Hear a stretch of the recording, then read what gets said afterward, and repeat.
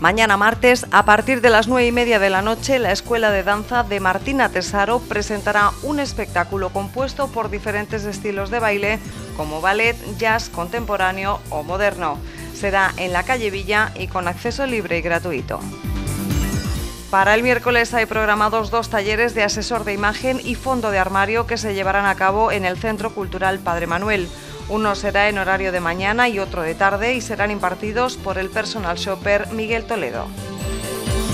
El jueves, la Escuela de Baile Flamenco de Ana Guerrero presentará un espectáculo en el que hará referencia al flamenco más puro y la unión de las raíces del alma. Será en los Jardines Carmen Thyssen, en el Orquidario, a las nueve y media de la noche.